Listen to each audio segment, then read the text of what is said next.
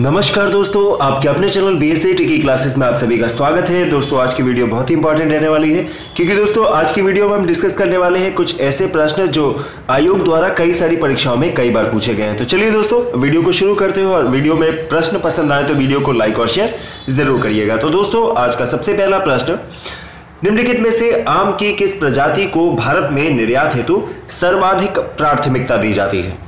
जी export के point of view से सबसे इंपॉर्टेंट आम की प्रजाति कौन सी है? जी दोस्तों, अगर हम बात करें ऑप्शन नंबर सी की, अल्फांसो आम की तो दोस्तों, अल्फांसो जो है भारत का सबसे खास किस्म का आम है और इसके नाम जो है राज्यों के हिसाब से, जैसे दोस्तों, महाराष्ट्र में इसे हापुस कहते हैं और कर्नाटक में इसे आपुस कहते हैं। और दोस्तों, अल्फांसो आम को सर्वाधिक निर्यात किया जाता है। ऑप्शन नंबर सी इस प्रश्न के लिए बिल्कुल सही विकल्प हो जाएगा, जिन्होंने भी बताया option number C right option है। चलिए दोस्तों, अगला प्रश्न। निम्नलिखित में से किस फ़सल में तेल और रेशा दोनों ही पर्याप्त मात्रा में प्राप्त होता है? क्या आप जानते कि दी गई कौन सी एक फ़सल ऐसी है जिससे तेल और रेशा दोनों ही पर्याप्त मात्रा में प्राप्त होते हैं? जी दोस्तों, अगर हम बात करें तो भारत में प्रमुख तिलहनी फ़सलें दोस्तों, सरसों है, अलसी, सोयाबीन और मूंगफली, यह जो है प्रमुख तिलहनी फ़सलें हैं। और दोस्तों, अगर हम बात करें अलसी की तो अलसी या तीसी ऐसी तिलहनी फ़सल है जिसमें प्रचुर मात्रा में तेल और रेशा दोनों ही प्राप्त किया जाता है। ऑप्शन नंबर डी इस प्रश्न के लिए जिन्होंने भी बताया, बिल्कुल सही विकल्प हो जाएगा। चलिए दोस्तों, अगला प्रश्न। जी दोस्तों, क्या आप जानते हैं कि फ़सलों के निम्नलिखित में से कौन सा युग्म भारत में कुल दलहन उत्पादन का 75 परसेंट को रिप्रेजेंट करता है? कौन सा युग्म जो है वो दलहन का कुल 75 परसेंट उत्पादन करता है? जी, बात करें दलहन की तो दोस्तों, हम भारतवासी जो है उत्पादन और उपभोग दोनों में ही नंबर वन है। दाल की अगर हम बात करें और दिए गए ऑप्शंस की अगर बात करें दोस्तों, चना और अरहर जो है, इस प्रश्न के बिल्कुल राइट ऑप्शन हो जाएगा। ये दोनों दाल जो है टोटल दालों का 75 परसेंट होती हैं। ऑप्शन नंबर 20 प्रश्न के लिए जिन्होंने भी बताया, बिल्कुल राइट ऑप्शन हो जाएगा। चलिए दोस्तों, अगला प्रश्न। दोस्तों, क्या आप जानते हैं, ब्रह्मोस मिसाइल को संयुक्त रूप से किसके द्वारा विकसित किया गया था? पीडीएफ थोड़ी सी खराब है दोस्तों, अगर हम बात करें इस प्रश्न की तो ब्रह्मोस मिसाइल का विकास जो है, भारत और रूस की संयुक्त परियोजना के अंतर्गत किया गया है। ऑप्शन नंबर सी, भारत और रूस इस प्रश्न के लिए बिल्कुल सही विकल्प हो जाएगा। चलिए दोस्तों, अगला प्रश्न। निम्नलिखित में से कौन सा युग्म सही सुमेलित है? विचार करके बताएँ। कई सारे विटामिन के नाम आपको दिए गए हैं और उनके सोर्स के बारे में बताया गया है। विचार करके बताएँ कि कौन सा सुमेलित नहीं है। जी दोस्तों, गाजर से हमें प्रचुर मात्रा में विटामिन ए की प्राप्ति होती है। ताड़ के तेल से दोस्तों, विटामिन ई जो है, प्राप्त कर सकते हैं हम। और कॉड लीवर ऑयल दोस्तों, इसमें जो है, विटामिन डी पाया जाता है। और बात करें दोस्तों विटामिन बी की ऑप्शन नंबर डी की तो इस प्रश्न के लिए बिल्कुल राइट ऑप्शन हो जाएगा दोस्तों। धान की भूसी से हमें विटामिन बी नहीं प्राप्त होता है। दोस्तों, मुख्य रूप से हमें दूध ईस्ट मांस और सब्ज़ी और दाल से हमें मुख्य रूप से विटामिन बी प्राप्त हो जाता है। और दोस्तों, अगर हम बात करें धान की भूसी की तो धान की भूसी के तेल से विटामिन ई e प्राप्त होता है। धान की भूसी के तेल से विटामिन ई e प्राप्त होता है। तो यहाँ से आपका option number D right option हो जाएगा, क्योंकि यह सुमेलित नहीं है। चलिए दोस्तों, अगला प्रश्न। जी, क्या आप जानते हैं कीट भक्षी पौधे जिस मृदा में उगते हैं, उसमें अल्पता में होता है? तो दोस्तों, क्या जो है उसमें अल्पता में पाया जाता है? बिल्कुल ठीक। दोस्तों, कीट भक्षी पौधे मांसाहारी पादप कहलाते हैं और ये पौधे ऐसी भूमि पर उगते हैं जहाँ नाइट्रेट का अभाव होता है अथवा ये पौधे जो है भूमि से नाइट्रोजन प्राप्त करने में असमर्थ होते हैं। ऑप्शन नंबर ए, बिल्कुल राइट ऑप्शन हो जाएगा। कीट भक्षी पौधे नाइट्रोजन की अल्पता वाली मिट्टी में उगते हैं। ऑप्शन नंबर ए हो जाएगा राइट ऑप्शन। चलिए दोस्तों, अगला प्रश्न। निम्नलिखित में से कौन सा जैव अणु एक प्रकार का प्रोटीन है?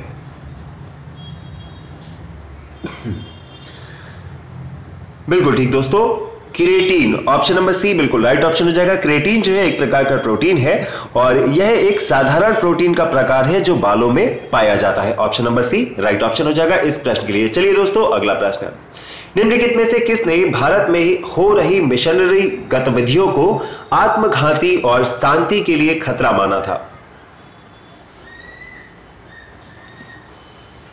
जी दोस्तों Lord William Bentinck option number C बिल्कुल राइट ऑप्शन हो जाएगा। लॉर्ड विलियम बेटिंग ने भारत में चल रही मिशनरियों को आत्मघाती और शांति के लिए खतरा माना था। ऑप्शन नंबर सी हो जाएगा इस प्रश्न के लिए। सही ऑप्शन चलिए दोस्तों, अगला प्रश्न।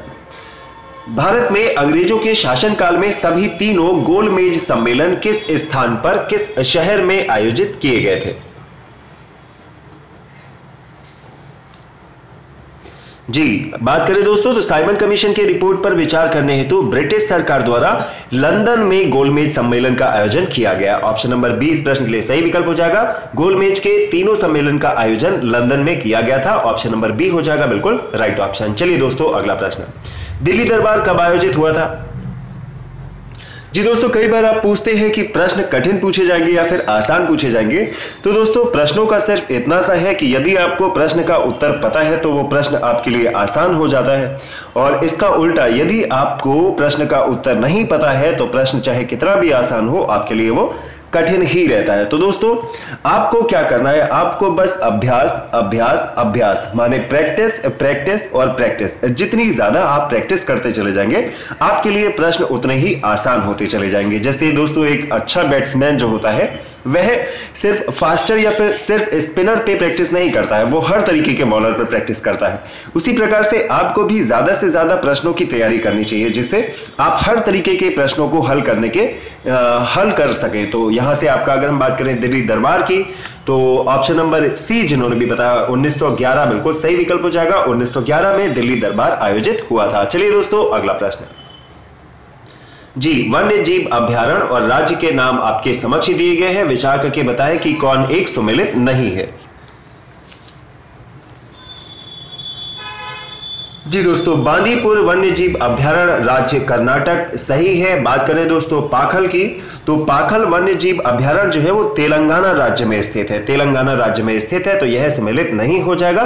इस प्रश्न के लिए आपका राइट ऑप्शन हो जाएगा ऑप्शन नंबर बी इसके अलावा दोस्तों, सिकरी देवी वन्य जीव अभ्यारण्य जो है, हिमाचल प्रदेश राज्य के अंतर्गत आता है और दचीग्राम जो है वो जम्मू और कश्मीर राज्य के अंतर्गत आता है। ऑप्शन नंबर बीस प्रश्न के लिए राइट ऑप्शन हो जाएगा, बिल्कुल सही। चलिए दोस्तों, अगला प्रश्न।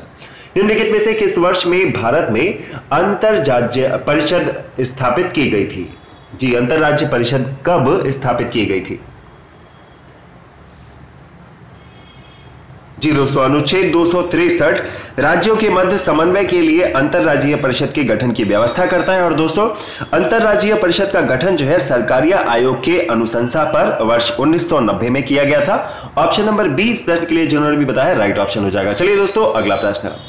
भारतीय संविधान के निम्नलिखित में से किस संशोधन ने पंचायतों को संवैधानिक दर्जा प्रदान किया?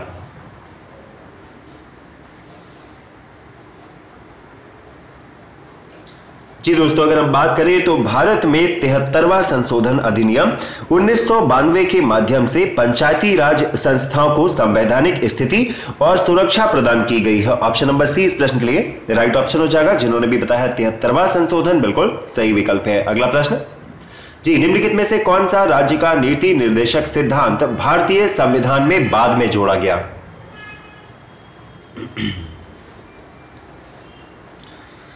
जी, नीति निर्देशक सिद्धांतों में समान एवं मुफ़्त कानूनी सहायता का प्रावधान बयालीसवें संविधान संशोधन के माध्यम दोस्तों, उनतालीस का में प्रदान किया गया है ऑप्शन नंबर बी, इस प्रश्न के लिए बिल्कुल राइट ऑप्शन हो जाएगा। मुफ़्त कानूनी सहायता, इस प्रश्न के लिए option number B right option हो जाएगा। अगला प्रश्न, भारत में राष्ट्रीय विकास परिषद कब गठित की गई थी? जी दोस्तों, सारे ही पुराने प्रश्न हैं, मगर परीक्षा की दृष्टि से यह प्रश्न हमेशा ही इंपॉर्टेंट रहते हैं, महत्वपूर्ण रहते हैं। और बात करें इस प्रश्न की तो राष्ट्रीय विकास परिषद का गठन जो है दोस्तों 6 अगस्त उन्नीस सौ बावन में किया गया था। ऑप्शन नंबर डी इस प्रश्न के लिए राइट ऑप्शन हो जाएगा, जिन्होंने भी बताया बिल्कुल सही विकल्प है। अगला प्रश्न, जी, भारत में 50 पैसे का सिक्का किस सीमा तक भुगतान हेतु विधिक रूप से मान्य है? जी, दस रुपए तक। ऑप्शन नंबर सी बिल्कुल सही विकल्प हो जाएगा। चलिए दोस्तों, अगला प्रश्न, जेबलन बिहार मोनेस्ट्री कहाँ स्थित है? जिबलन बिहार मोनिस्ट्री जो है वो कहा स्थित है?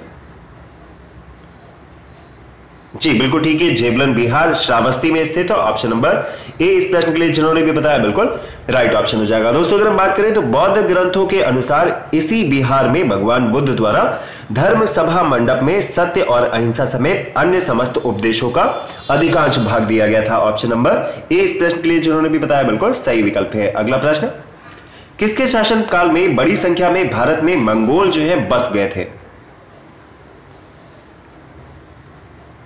ऑप्शन नंबर डी बिल्कुल सही विकल्प हो जाएगा इस प्रश्न के लिए। जलालुद्दीन खिलजी, जिन्होंने भी बताया बिल्कुल सही विकल्प हो जाएगा। चलिए दोस्तों, अगला प्रश्न देखते हैं। जी, क्या आप जानते हैं दोस्तों, तकनीकी शिक्षा हेतु पहला राष्ट्रीय विद्यालय कहाँ खोला गया? जी, टेक्निकल एजुकेशन के लिए पहला नेशनल इंस्टीट्यूट जो है वो कहाँ खोला गया है?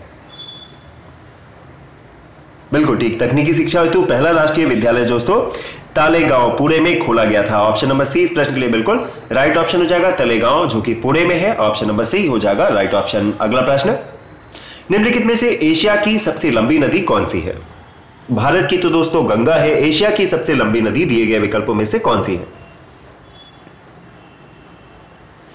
जी दोस्तों, एशिया की सबसे लंबी नदी का नाम है यांगटेसी। ऑप्शन नंबर ए इस प्रश्न के लिए बिल्कुल सही विकल्प हो जाएगा। दोस्तों, इस नदी की लंबाई जो है वो 6000 से ज़्यादा लंबी है 6000 किलोमीटर से ज़्यादा लंबाई है यांगटिसी नदी की। और यह नदी जो है दोस्तों, चीन के सिकोंग पहाड़ियों से निकलकर पूर्वी चीन सागर में गिरती है। और भारत की सबसे लंबी नदी के बारे में दोस्तों हम जानते हैं, गंगा नदी जो है भारत की सबसे लंबी नदी है। चलिए दोस्तों, अगला प्रश्न। निम्नलिखित में से कौन सी नदी कश्मीर के प्रदेश में सिंधु से नहीं मिलती है। जी, बिल्कुल ठीक। दिए गए ऑप्शन की बात करें दोस्तों, झेलम नदी जो है, उत्तर भारत में बहने वाली एक नदी है। ऑप्शन नंबर डी इस प्रश्न के लिए जिन लोगों ने भी बताया बिल्कुल सही विकल्प हो जाएगा, झेलम। चलिए दोस्तों, अगला प्रश्न।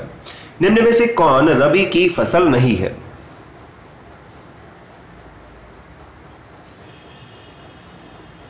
जी दोस्तों, रबी की अगर हम बात करें तो रबी की फ़सलों के अंतर्गत गेहूँ है, जौ है, चना है, मटर, सरसों, ये सब आते हैं। बात करें ऑप्शन नंबर सी, मक्का जो है वो रबी की फ़सल नहीं है। ऑप्शन नंबर सी, इस प्रश्न के लिए जिन्होंने भी बताया, बिल्कुल सही विकल्प हो जाएगा। चलिए दोस्तों, अगला प्रश्न। भारत की जनसंख्या घनत्व वर्ष 2001 की तुलना में 2011 में बढ़कर कितना हो गया?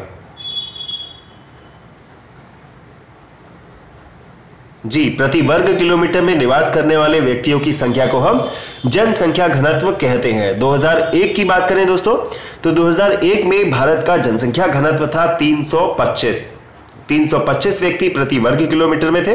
और अगर हम बात करें 2012 की तो 2012 में दोस्तों तीन सौ बयासी व्यक्ति प्रति वर्ग किलोमीटर में हो गए। तो दिए गए ऑप्शंस की अगर हम बात करें दोस्तों ऑप्शन नंबर ए 325 और तीन सौ बयासी, इस प्रश्न के लिए जिन्होंने भी बताया है राइट ऑप्शन हो जाएगा। चलिए दोस्तों, अगला प्रश्न। दोस्तों फ्रिस्बी क्या है? यदि आपने सुना हो फ्रिस्बी फ्रिस्बी के बारे में तो विचार करके बताया दिए गए ऑप्शंस में से राइट ऑप्शन क्या है? जी दोस्तों फ्रिस्बी जो है, एक प्रकार का स्पोर्ट है, खेल है। ऑप्शन नंबर 20 प्रश्न के लिए बिल्कुल राइट ऑप्शन हो जाएगा। इस खेल में दोस्तों, एक फ्लाइंग डिस्क के साथ खेला जाता है और यह पूरी तरीके से खिलाड़ियों के फेयर प्ले की तर्ज पर खेला जाता है, क्योंकि दोस्तों, इस खेल में कोई रेफरी या फिर अंपायर नहीं होता है। ऑप्शन नंबर बीस प्रश्न के लिए हो जाएगा बिल्कुल सही ऑप्शन जिन्होंने भी होता है वेरी गुड चलिए दोस्तों, अगला प्रश्न। जी, किस संवैधानिक संशोधन के द्वारा संपत्ति का अधिकार, मौलिक अधिकार के रूप में समाप्त कर दिया गया था? तो दोस्तों पहले जो है संपत्ति का अधिकार भी हमारे मौलिक अधिकारों के अंतर्गत आता था। उसके बाद इसे के संविधान संशोधन में मौलिक अधिकारों की लिस्ट से हटा दिया गया। जी दोस्तों, चवालीसवा संविधान संशोधन जो कि हुआ था 1978 में। तो दोस्तों, इसमें जो है संपत्ति के अधिकार को मौलिक अधिकार के रूप में समाप्त कर दिया गया था। ऑप्शन नंबर ए इस प्रश्न के लिए बिल्कुल सही विकल्प हो जाएगा। जिन्होंने भी बताया है, बिल्कुल सही है। अगला प्रश्न, निम्न में से कौन अनुचुंबकीय है? कौन जो है? अनुचुंबकीय है। जी अनुचुंबकत की बात करें दोस्तों तो अनुचुंबकत पदार्थ वो पदार्थ होते हैं जिसमें बाहर से आरोपित चुंबकीय क्षेत्र की दिशा में ही चुंबकीय क्षेत्र पैदा करते हैं। ऑप्शन नंबर सी, इस प्रश्न के लिए बिल्कुल राइट ऑप्शन हो जाएगा। Manganese chloride option number C, सही विकल्प है। चलिए दोस्तों, अगला प्रश्न। सल्फ़र डाइऑक्साइड प्रदूषण के लिए मुख्य संकेतक पौधा है।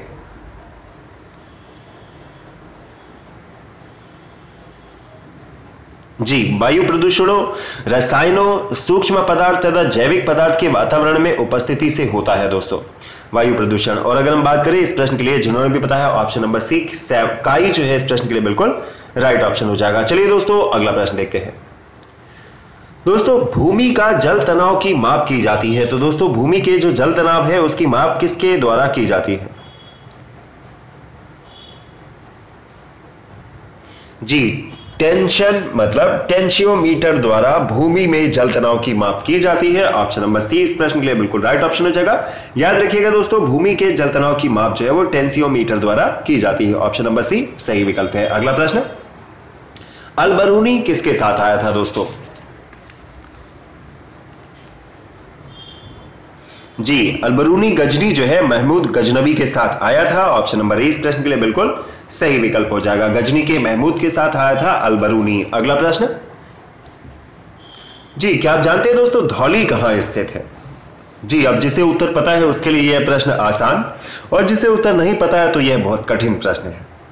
जी, धौली हिल्स जो है दोस्तों, उड़ीसा में भुवनेश्वर से आठ किलोमीटर दूर दया नदी किनारे स्थित है। ऑप्शन नंबर सी इस प्रश्न के लिए बिल्कुल राइट ऑप्शन हो जाएगा, भुवनेश्वर, जिन्होंने भी बताया बिल्कुल सही विकल्प है। चलिए दोस्तों, अगला प्रश्न।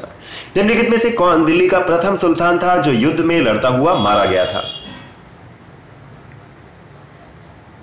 जी, अप्रैल 1526 को पानीपत के मैदान में इब्राहिम लोदी एवं बाबर के मध्य दोस्तों युद्ध हुआ था, जिसमें इब्राहिम लोदी की पराजय हुई थी और इस प्रकार युद्ध में मृत्यु को प्राप्त करने वाला वह दिल्ली सल्तनत का प्रथम सुल्तान सुल्तान था। Option number C, Ibrahim Lodi right option हो जाएगा। चलिए दोस्तों, अगला प्रश्न। दोस्तों, क्या आप जानते हैं कि कोलिय विद्रोह लोगों से संबंधित था? किस राज्य के लोगों से संबंधित था कोलिय विद्रोह? जी 1831 में दोस्तों हुआ था कोल विद्रोह, और छोटा नागपुर के कोलों ने यह विद्रोह उस समय किया जब उनकी भूमि उनके मुखियों, मुखिया लोगों से लेकर मुस्लिम तथा सिख कृषकों को दे दी गई थी। ऑप्शन नंबर ए इस प्रश्न के लिए बिल्कुल सही विकल्प है। जिन्होंने भी बताया ऑप्शन नंबर ए छोटा नागपुर के तो बिल्कुल सही ऑप्शन हो जाएगा। अगला प्रश्न, बिरसा मुंडा का कार्य क्षेत्र कौन सा था? मोस्ट इंपॉर्टेंट प्रश्न दोस्तों, कई बार यह प्रश्न पूछा जा चुका है। जी, एक आदिवासी नेता थे विरसा मुंडा, जो मुंडा जाति से संबंधित थे। और वर्तमान भारत में दोस्तों रांची और सिंह भूमि के आदिवासी बिरसा मुंडा को भगवान मानकर याद करते हैं। ऑप्शन नंबर डी इस प्रश्न के लिए बिल्कुल राइट ऑप्शन हो जाएगा। रांची जिन्होंने भी बताया, बिल्कुल सही विकल्प है। चलिए दोस्तों, अगला प्रश्न। जी, नाथुला दर्रा भारत के किस राज्य में स्थित है? यह भी प्रश्न बहुत ही इंपॉर्टेंट है। नाथुला दर्रा दोस्तों सिक्किम राज्य के अंदर स्थित है। ऑप्शन नंबर सी इस प्रश्न के लिए बिल्कुल राइट ऑप्शन हो जाएगा। चलिए दोस्तों, इसके अलावा दोस्तों कुछ और प्रमुख दर्रे हैं जिनसे संबंधित प्रश्न पूछा जाता है। जैसे दोस्तों, जोजिला और पीर पंजाल जो दर्रे हैं, वह जम्मू कश्मीर राज्य में है। जोजिला और पीर पंजाल जो, दर्रे हैं, वह जम्मू कश्मीर में स्थित है। दोस्तों, नीति और माना नामक जो दर्रे हैं, वह उत्तराखंड राज्य में स्थित है और हिमाचल प्रदेश में भी दोस्तों, सिपकीला और रोहतांग दर्रे जो है, कई बार प्रश्न में पूछा जाता है सिपकीला और रोहतांग तो यह हिमाचल प्रदेश की सीमाओं के अंतर्गत आते हैं। चलिए दोस्तों, अगला प्रश्न। निम्नलिखित में से कौन सा स्थान परमाणु शक्ति स्टेशन के लिए प्रसिद्ध है? कौन सा स्थान परमाणु शक्ति स्टेशन के लिए प्रसिद्ध है? जी, बिल्कुल ठीक। कुडनकुलम, तमिलनाडु का कुडनकुलम ऑप्शन नंबर डी इस प्रश्न के लिए बिल्कुल सही विकल्प है। अगला प्रश्न।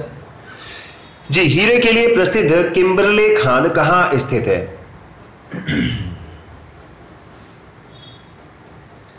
जी दोस्तों, याद रखिएगा किम्बरले जो है दक्षिण अफ्रीका के उत्तरी के प्रांत की राजधानी है। और यह जो है दक्षिण अफ्रीका की विश्व प्रसिद्ध हीरे की खान है ऑप्शन नंबर सी इस प्रश्न के लिए जिन लोगों ने भी बताया, बिल्कुल सही विकल्प हो जाएगा। वेरी गुड जिनने बताया ऑप्शन नंबर सी दक्षिण अफ्रीका। राइट ऑप्शन है। अगला प्रश्न। भारत में राज्यसभा किसका प्रतिनिधित्व करती है? जी, राज्यसभा जो है वो किसका प्रतिनिधित्व करती है? बिल्कुल ठीक दोस्तों, संविधान के अनुच्छेद 80 के अंतर्गत राज्यसभा राज्यों और संघ राज्य क्षेत्रों के प्रतिनिधियों से मिलकर बनेगी। अतः स्पष्ट है कि राज्यसभा राज्यों और संघ राज्य क्षेत्रों का प्रतिनिधित्व करती है। ऑप्शन नंबर डी स्पष्ट के लिए जिन लोगों ने भी बताया, बिल्कुल राइट ऑप्शन हो जाएगा। चलिए दोस्तों, अगला प्रश्न। निम्न में से कौन संविधान सभा के अध्यक्ष थे? तो दोस्तों, इस प्रश्न में किसी को भी कोई डाउट नहीं होना चाहिए। 11 दिसंबर 1946 को डॉक्टर राजेंद्र प्रसाद को संविधान सभा का स्थायी अध्यक्ष नियुक्त किया गया था। ऑप्शन नंबर डी इस प्रश्न के लिए जिन लोगों ने भी बताया, बिल्कुल राइट ऑप्शन हो जाएगा। चलिए दोस्तों, अगला प्रश्न। भारत में जनमत के निर्माण में मुख्य तत्व क्या होता है? जी, जनमत का निर्माण में जो सबसे मुख्य तत्व होता है, दिए गए ऑप्शन में से। बिल्कुल ठीक दोस्तों, स्वतंत्र प्रेस ऑप्शन नंबर बी इस प्रश्न के लिए बिल्कुल सही विकल्प हो जाएगा। चलिए दोस्तों, अगला प्रश्न। नियंत्रक और महालेखा परीक्षक द्वारा की गई टिप्पणियों पर कार्यवाही करने की प्रथम ज़िम्मेदारी किसकी बनती है? जी दोस्तों, भारत के नियंत्रक और महालेखा परीक्षक द्वारा जो टिप्पणियाँ की जाती हैं, उस पर कार्यवाही करने की जो सबसे पहली रिस्पॉन्सिबिलिटी बनती है दिए गए ऑप्शन में से किसकी है? जी, याद रखिएगा दोस्तों, संविधान के अनुच्छेद 148 में नियंत्रक एवं महालेखा परीक्षक के स्वतंत्र पद की व्यवस्था की गई है। और दोस्तों, यह जो है, केंद्र, राज्य या किसी अन्य प्राधिकरण या संस्था के महालेखा परीक्षक से जुड़े लेखा मामलों को व्यवस्थित करता है और उसका निरीक्षण करता है। ऑप्शन नंबर सी, इस प्रश्न के लिए बिल्कुल राइट ऑप्शन हो जाएगा। संसद की रिस्पॉन्सिबिलिटी बनती है, टिप्पणियों पर कार्यवाही करने की। Option number C, right option है। अगला प्रश्न। सोनार अधिकांशतः प्रयोग में लाया जाता है। तो दोस्तों, सोनार जो है, वो किसके द्वारा प्रयोग किया जाता है? जी, एक यंत्र, एक युक्ति होती है सोनार, और जिसे जो है दोस्तों, समुद्र की गहराई ज्ञात करने के लिए जल के नीचे की वस्तुओं जैसे मछली के स्रोत या फिर नष्ट हुए जहाजों और दुश्मनों की पनडुब्बी का पता लगाने के लिए नौ संच, संचालकों या नौसेना द्वारा उपयोग किया जाता है। वेरी गुड जिन्होंने भी बताया ऑप्शन नंबर डी बिल्कुल सही विकल्प हो जाएगा इस प्रश्न के लिए। दोस्तों, क्या आप जानते हैं कि विटामिन सी का रासायनिक नाम क्या होता है? जी, बिल्कुल ठीक है। विटामिन सी का रासायनिक नाम होता है ascorbic acid option number D इस प्रश्न के लिए बिल्कुल सही विकल्प हो जाएगा। एस्कॉर्बिक अम्ल करके हम जानते हैं विटामिन सी को। जी, हमारे कमरे में जो सूर्य का प्रकाश पाते हैं, वह किसके द्वारा पाते हैं? जी दोस्तों, जब प्रकाश किसी ऐसे माध्यम से गुजरता है जिसमें धूल तथा अन्य पदार्थों के अत्यंत सूक्ष्म कण मौजूद होते हैं तो इनके द्वारा प्रकाश सभी दिशाओं में प्रसारित हो जाता है। इसे दोस्तों प्रकाश का प्रकीर्णन कहते हैं और इसी के घटना के द्वारा प्रकाश जो है हमारे कमरे तक पहुँच पाता है। ऑप्शन नंबर ए, इस प्रश्न के लिए बिल्कुल सही विकल्प हो जाएगा। प्रकाश हमारे कमरे में प्रकीर्णन द्वारा आता है। ऑप्शन नंबर ए, बिल्कुल सही विकल्प हो जाएगा। जी बिजली का सबसे उत्तम चालक निम्नलिखित में से कौन है? जी, अगर हम बात करें दोस्तों तो दिए गए विकल्पों में से समुद्र का जल जो है बिजली का सबसे उत्तम चालक होगा, क्योंकि दोस्तों, समुद्र का जल जो है लवणीय होता है और ये लवण जो है जल को आयनीकृत कर देते हैं, जिससे उसमें इलेक्ट्रॉन प्रवाहित हो सकते हैं। ऑप्शन नंबर बी, इस प्रश्न के लिए बिल्कुल राइट ऑप्शन हो जाएगा। वेरी गुड, जिन्होंने भी बताया, ऑप्शन नंबर बी, सही विकल्प है। जी दोस्तों, अगला प्रश्न, इंपॉर्टेंट प्रश्न, पिच ब्लेंड जो है वो किसके मुख्य स्रोत होते हैं? जी दोस्तों, अगर हम बात करें तो यूरेनियम जो है एक रेडियोधर्मी व दुर्लभ तत्व है, जो प्रकृति में मुक्त अवस्था में नहीं पाया जाता है। इसका परमाणु क्रमांक कितना हो दोस्तों? 92 बानवे होता है इसका परमाणु क्रमांक। और इसका मुख्य स्रोत जो है दोस्तों, पिच ब्लेंड होता है। ऑप्शन नंबर ए इस प्रश्न के लिए बिल्कुल सही विकल्प हो जाएगा, जिन्होंने भी बताया option number A right option है। अगला प्रश्न, विश्व पर्यावरण दिवस कब मनाया जाता है? बिल्कुल ठीक। दिए गए की बात करें दोस्तों तो 5 जून को मनाया जाता है विश्व पर्यावरण दिवस। ऑप्शन नंबर डी इस प्रश्न के लिए जिन्होंने भी बताया, बिल्कुल राइट ऑप्शन हो जाएगा। दोस्तों 7 अप्रैल को हम किसके रूप में मनाते हैं? विश्व स्वास्थ्य दिवस के हिसाब से दोस्तों वर्ल्ड हेल्थ डे मनाया जाता है दोस्तों 7 अप्रैल को। बात करें 10 दिसंबर की, दोस्तों, अंतरराष्ट्रीय मानवाधिकार दिवस के रूप में हम मनाते हैं। अंतरराष्ट्रीय मानवाधिकार दिवस के रूप में मनाते हैं हम 10 दिसंबर को, और विश्व परिवार दिवस दोस्तों मनाया जाता है 15 मई को। इस प्रश्न के लिए जिन लोगों ने भी बताया था ऑप्शन नंबर डी 5 जून राइट ऑप्शन है। अगला प्रश्न, चित्रकूट जलप्रपात भारत के निम्नलिखित राज्यों में से किसमें अवस्थित है? चित्रकूट जलप्रपात। ऑप्शन नंबर सी छत्तीसगढ़, बिल्कुल सही विकल्प हो जाएगा। अगला प्रश्न, निम्नलिखित में से कौन दूरी की इकाई नहीं है?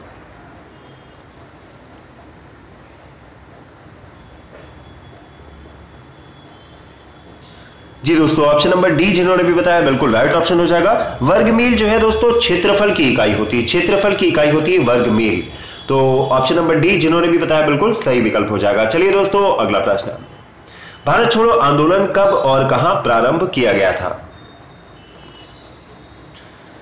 जी दोस्तों 7 अगस्त 1942 को बंबई के ग्वालियर टैंक मैदान में अखिल भारतीय कांग्रेस कमेटी की वार्षिक बैठक हुई थी और जिसकी अध्यक्षता है दोस्तों मौलाना अबुल कलाम आज़ाद ने की थी। और भारत छोड़ो आंदोलन की, को दोस्तों अगस्त क्रांति के नाम से भी जाना जाता है। अगर हम बात करें इस प्रश्न की तो ऑप्शन नंबर ए 8 अगस्त 1942 बंबई में बिल्कुल राइट ऑप्शन हो जाएगा इस प्रश्न के लिए। चलिए दोस्तों, अगला प्रश्न देखते हैं। पीताम्बरी किसकी एक प्रजाति है? तो दोस्तों, फ़सलों से संबंधित भी प्रश्न पूछे जाते हैं अक्सर। क्रांतियों से संबंधित। बात करें इस प्रश्न की तो पीताम्बरी जो है, पीली सरसों की एक प्रजाति है। ऑप्शन नंबर ए, इस प्रश्न के लिए सही विकल्प हो जाएगा। पीताम्बरी पीली सरसों की प्रजाति है। अगला प्रश्न, किस उर्वरक में नत्रजन एमाइड रूप में रहती है? जी, किस उर्वरक में, किस खाद में नत्रजन जो है अमाइड के रूप में रहती है? जी, नत्रजन जो है अमाइड रूप में यूरिया में रहती है और दोस्तों यूरिया में नत्रजन की प्रतिशतता जो है लगभग 46 परसेंट होती है। दिए गए ऑप्शंस की बात करें ऑप्शन नंबर 20 प्रश्न के लिए सही विकल्प हो जाएगा। चलिए दोस्तों, अगला प्रश्न। निम्नलिखित में से कौन सा सूक्ष्म पोषक तत्व नहीं है? विचार करके बताएँ कौन एक सूक्ष्म पोषक तत्व नहीं है। जी दोस्तों, वे पोषक तत्व जिनकी आवश्यकता पौधों को सूक्ष्म मात्रा में होती है, उन्हें हम सूक्ष्म पोषक तत्व कहते हैं, जैसे आयरन है, मैग्नीज है, तांबा, जिंक, क्लोरीन या फिर बोरान आदि। और दोस्तों, अगर हम बात करें, जबकि कैल्शियम, मैग्नीशियम जो है द्वितीय पोषक तत्व के अंतर्गत आते हैं। ऑप्शन नंबर डी, इस प्रश्न के लिए जिन लोगों ने भी बताया, वेरी गुड, बिल्कुल सही विकल्प हो जाएगा। चलिए दोस्तों, अगला प्रश्न। लोकसभा में अविश्वास प्रस्ताव प्रस्तुत करने के लिए कम से कम कितने सदस्यों की सहमति की आवश्यकता होती है? जी, कितने सांसदों के समर्थन की आवश्यकता होती है? मंत्रिमंडल के खिलाफ अविश्वास प्रस्ताव पारित करने की, प्रस्तुत करने की। जी दोस्तों, बिल्कुल ठीक है। संविधान के अनुच्छेद 75 के अंतर्गत मंत्री परिषद लोकसभा के प्रति सामूहिक रूप से उत्तरदायी होगा। और इसका अभिप्राय है कि दोस्तों, मंत्री परिषद तभी तक है जब तक कि उसे सदन में बहुमत प्राप्त है। दूसरे शब्दों में दोस्तों, अगर हम कहें तो लोकसभा मंत्रिमंडल को अविश्वास प्रस्ताव पारित कर हटा सकती है। और दोस्तों अविश्वास प्रस्ताव के समर्थन में 50 सदस्यों की सहमति अनिवार्य होती है। ऑप्शन नंबर ए, इस प्रश्न के लिए बिल्कुल सही विकल्प हो जाएगा, जिन्होंने भी बताया। Option number A, right option है। अगला प्रश्न देखते निम्नलिखित में से कौन सी नहर उत्तर प्रदेश में अवस्थित नहीं है? विचार करके बताएँ दोस्तों, दिए गए ऑप्शंस में से यदि आपको पता हो कि कौन सी तीन नहरें जो है उत्तर प्रदेश की हैं। जी, बात करें दोस्तों अगर हम हनुमानगढ़ हनुमानगढ़ जो है दोस्तों, नहर जो है, उत्तर प्रदेश में अवस्थित ना होकर राजस्थान में स्थित है। तो दोस्तों ऑप्शन नंबर ए इस प्रश्न के लिए जिन्होंने भी बताया, बिल्कुल सही विकल्प हो जाएगा। हनुमानगढ़ ऑप्शन नंबर ए बिल्कुल राइट ऑप्शन है। इसके अलावा दोस्तों धसान नहर, माता टीला नहर और बेतवा नहर जो है, वो दोनों यह तीनों है, उत्तर प्रदेश में ही स्थित है। चलिए दोस्तों, अगला प्रश्न। किस वर्ष में से भारत के संविधान की प्रस्तावना में दो शब्द, समाजवादी और पंथ निरपेक्ष जोड़े गए थे। ऑप्शन नंबर ए 1976 बयालीसवां संविधान संशोधन, दो शब्द समाजवादी और पंथ निरपेक्ष को जोड़ा गया था। चलिए दोस्तों, अगला प्रश्न। मंत्रिपरिषद किसके प्रति सामूहिक रूप से रिस्पॉन्सिबल होगी? बिल्कुल ठीक। ऑप्शन नंबर डी लोकसभा के लिए सामूहिक रूप से मंत्रिपरिषद जो है रिस्पॉन्सिबल होगी।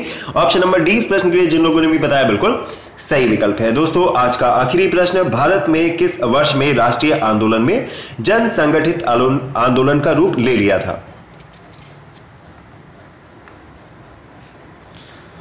जी दोस्तों, अठारह में भारतीय राष्ट्रीय कांग्रेस की स्थापना के बाद भारतीय राष्ट्रीय आंदोलन ने संगठित रूप से जन आंदोलन का रूप धारण कर लिया था। ऑप्शन नंबर बी इस प्रश्न के लिए जिनने भी बताया, बिल्कुल सही विकल्प हो जाएगा, अठारह तो दोस्तों, आज की वीडियो में बस इतना ही। यदि आपको आज की वीडियो पसंद आई हो तो वीडियो को लाइक कीजिए, शेयर कीजिए, सपोर्ट करते रहिए। और ज़्यादा जानकारी और तैयारी के लिए दोस्तों, बने रहिए अपने चैनल बी एस की क्लासेस के साथ। वीडियो को अंत तक देखने के लिए थैंक यू।